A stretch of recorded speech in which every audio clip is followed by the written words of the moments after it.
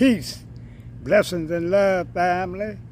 This is Elder Rasan Shakur out of New Orleans, Louisiana, coming to you with another great and informative video.